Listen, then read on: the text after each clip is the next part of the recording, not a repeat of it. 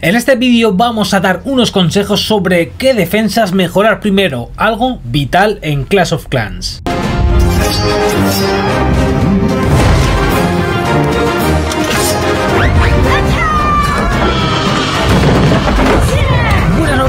Noviembreras, bienvenidos a Clan Noviembre Rojo YouTube, yo soy Super Gori y sin duda una de las primeras cosas que deberías mejorar antes son las defensas. Es lógico porque estas nos ayudarán a proteger algo muy importante, los recursos, y también nos hacen mucho más temibles en guerra de clanes. Si tienes buenos almacenes y malas defensas, serás un caramelito a la hora de defender y notarás como los ataques rivales llegarán más lejos y por lo tanto te llegarán a quitar más recursos. Ahora bien, ¿en qué orden debes mejorar las defensas? Esto depende de varias cosas. Del nivel de trofeos en que estés jugando, de tu nivel de ayuntamiento y de con qué ejércitos te suelen atacar. Esto es tan fácil de averiguarlo como mirar tu historial de defensas. Porque hay defensas que van mejor contra ciertas tropas. Por ejemplo, contra los ataques de dragones, lo mejor las antiaéreas. Contra globos y brujas defiende muy bien torres de magos. Contra montapuercos, el conjunto de explosivos defiende muy bien. Es importante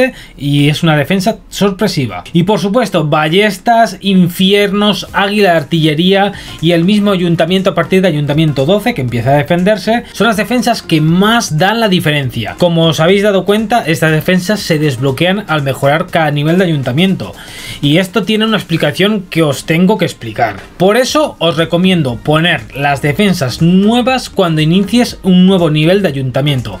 Mejor defensa nivel 1 que no tenerla. Esto va a hacer que defiendas mejor, y es que te van a atacar mucho más los de tu mismo nivel de ayuntamiento por emparejamiento, tanto en farming como en guerra. Eh, esto no quiere decir que no venga el típico busón y te destroce la aldea, ya me entiendes, ¿no? Es así es Clash of Clans. Suscríbete. También os tengo que decir que en el canal tenéis, y os lo dejaré también links en la descripción, guía de primeros pasos y orden de subida de todos los niveles de ayuntamiento, para que lo toméis como referencia, y ahí también hay muchos consejos dedicados a cada nivel. También os dejo link de bases de guerra y para defender recursos de todos los niveles. Por eso te tienes que suscribir a este canal, porque te vamos a ofrecer todo el contenido de calidad y actualidad de Clash of Clans. Pero volviendo al tema, como ya os he dicho, no tengáis miedo en poner las nuevas defensas, aunque en guerra tengáis un poco más de peso. Pues realmente una aldea que no tiene las nuevas defensas, que siempre son las que más daño hacen y por lo tanto más se nota defensivamente,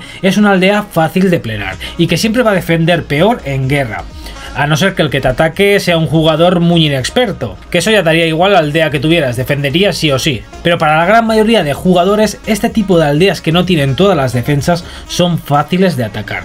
Y eso es peor para nosotros y también es peor para nuestros queridos recursos que tanto nos costaron conseguir. También quiero nombraros algunas prioridades que hay que tener en cuenta, pues no todo es mejorar defensas.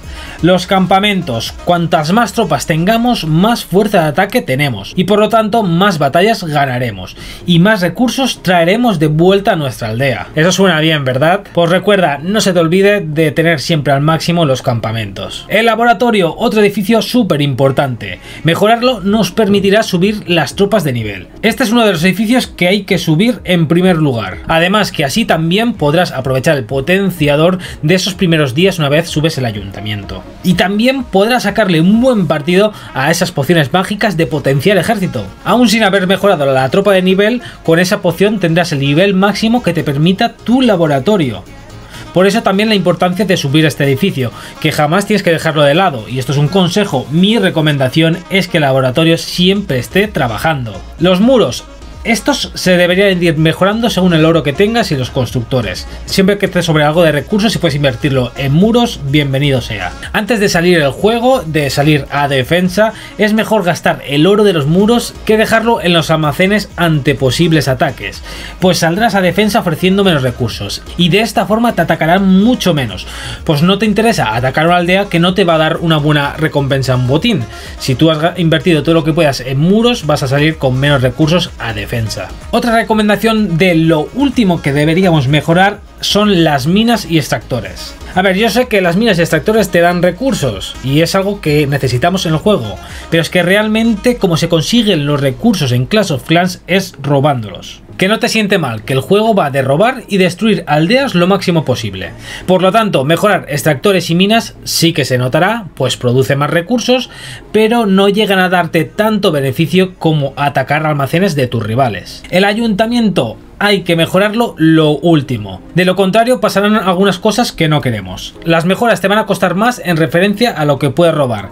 La gente nos atacará con más constancia al ver que la aldea es más fácil de atacar. Pues recuerda que te van a emparejar más con los de tu mismo nivel de ayuntamiento. Por lo tanto, si subes de ayuntamiento, te van a atacar más los que tienen ese mismo nivel de ayuntamiento. También importante que cuando subes ayuntamiento robas menos recursos a ayuntamientos inferiores. Te voy a poner un ejemplo. Si tú eres un ayuntamiento 8 y atacas a otro ayuntamiento 8, te puedes llevar el 100% de lo que te ofrece, ¿no? Pero si tú subes ayuntamiento 9 y con las mismas fuerzas del ayuntamiento 8 atacas a un ayuntamiento 8, ¿vale? Si es ayuntamiento 9 y atacas a un 8, no te está ofreciendo el 100%, te está ofreciendo el 90 o el 80% de recursos. Es decir, no te precipites en subir ayuntamiento porque te va a costar más mejorar en el juego. También decirte que los precios de ataque a la hora de buscar eh, aldea en multijugador también suben. Y ahora pasamos a unos cuantos consejos para aplicar estas mejoras. Ahora tienes claro con estos consejos qué tienes que mejorar primero.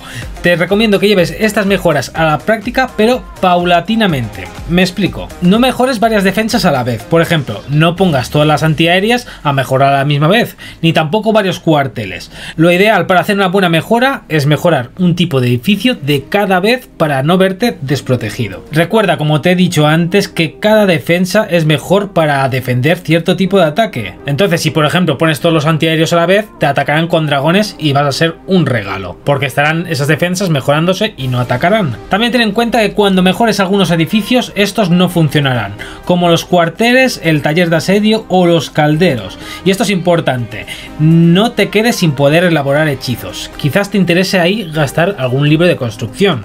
Los cuarteles, ponlos a mejorar, pero no todos a la vez, ¿vale? Si no, no podrás hacer ejército o te tardará una barbaridad. Y un pequeño consejo sería mejorar a la vez que una defensa, una mina o otro de los edificios que tengamos. También, si tienes un escudo activado, puedes aprovechar para mejorar esas defensas antes que otros edificios. Eso ya lo deberás calcular tú lo que mejor te interese. Además, intenta evitar que todos los trabajadores se pongan a la vez en marcha y que se queden sin hacer nada a la vez. El consejo es ve haciéndolo de forma progresiva para evitar la falta de recursos.